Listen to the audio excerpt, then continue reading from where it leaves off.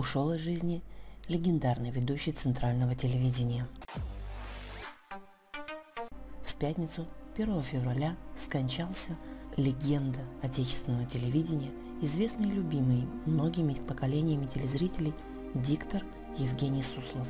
Ему был 81 год.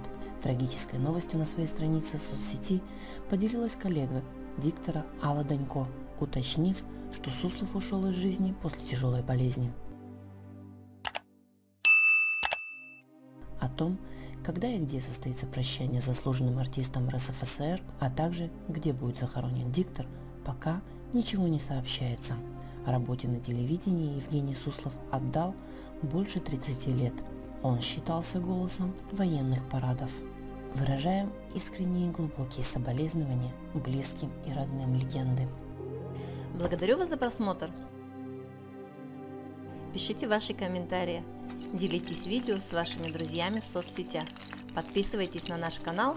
Не забудьте нажать на колокольчик. Впереди вас ждет много интересного и захватывающего. До новых встреч!